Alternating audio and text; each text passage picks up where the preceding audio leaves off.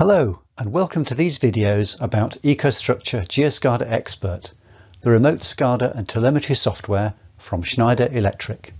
My name is Steve and in this video we're going to look at the many ways GeoSCADA makes managing screen colours easier. Let's start with an internal analog and digital point. I've configured these with normal or event states and abnormal or alarm states. I'll add them to a mimic graphic choosing to display the current formatted value and state. By initializing the analog to 50, which is not set to be in an alarm value, and the digital to 0, also not an alarm state, both values will be displayed in black with a white background.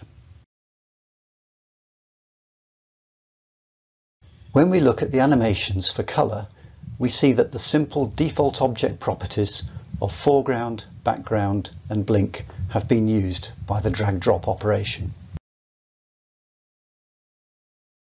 These are also the same colour properties that are used for those database items when they're shown on a list. So where do these colours come from?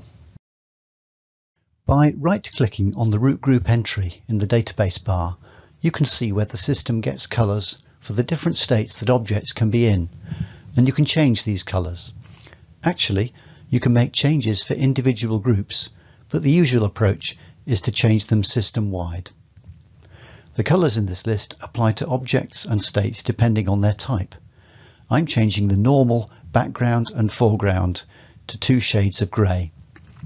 I need to reopen displays after changing the colours. You can take some time now to examine the list of colours that you can customise for example, a deep blue is used for a remote control in progress indication.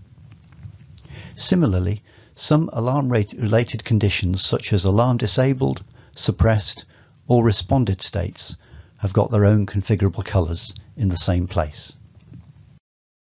By changing these colours, we can instantly switch to a different look, this change embracing trends in situational awareness. Another technique is to use color objects in the database. They can be created, given a suitable name, and configured to any color, then used to animate display items. For example, this one is going to be used to set the color of a line on a mimic. The animation is done simply with drag drop and a selection of the line color property.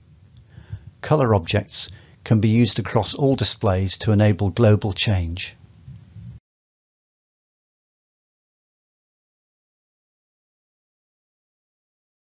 You can create a set of objects for different purposes on displays. And this set here is an example of colours for menus, plant and various items. But another separate use of custom colour objects is to use them on point configuration. If a specific colour is needed for an object state, you can attach a custom colour and that will be used on both Mimic displays and also on lists. So far, we've not discussed alarms, and alarm behavior involves colors in several ways.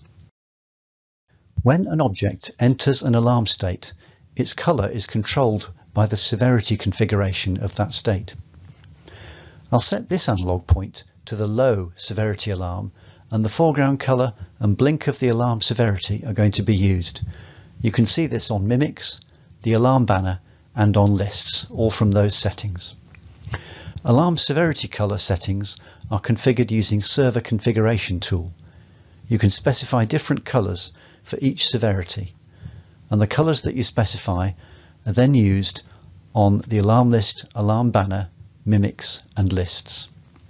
If an alarm on an object returns to normal and is not acknowledged, you'll also see the unacknowledged color.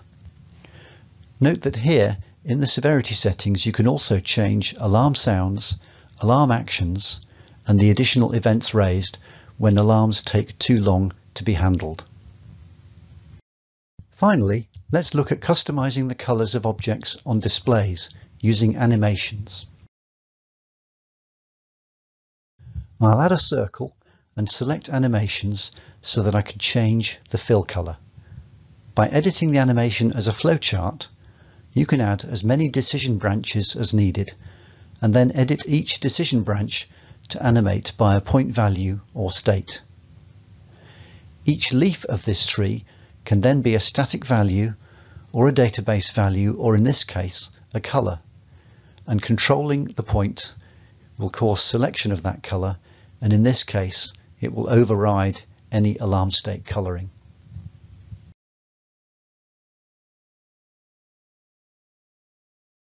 Here's a recap of the subjects covered this time. We looked at object colours and the colour palette, custom colour objects, point state colours, alarm severity colours, and then mimic animations and flowcharts.